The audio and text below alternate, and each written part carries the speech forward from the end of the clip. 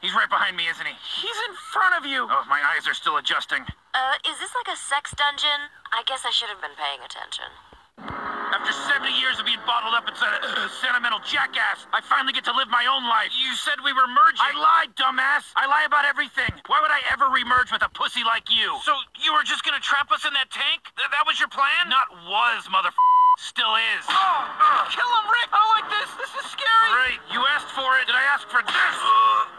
Did I ask for this, huh? Did I? Assessing threat to groin. Groin System 6000! Kill him! That is my groin's user. Believe me, I got a lot more use out of that thing than he ever did. You know what? Not my table.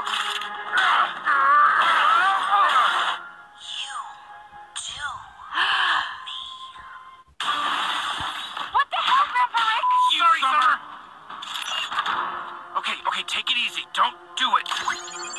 I love you, good boy. Daddy's little boy. Summer, get out of here. Go. Oh, who's that? Who, who's that over there? Oh, no. You see the man in front of you? You're a good little boy. You're gonna get him. You're gonna get him. Dad!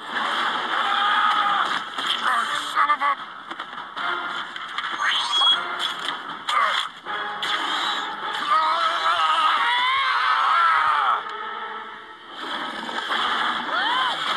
Nice try, asshole. We can resolve our issues. We don't need to resort to over-the-top...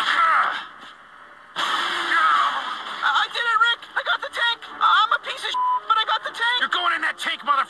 You're gonna live in that toxic wasteland like I had to do! Ah!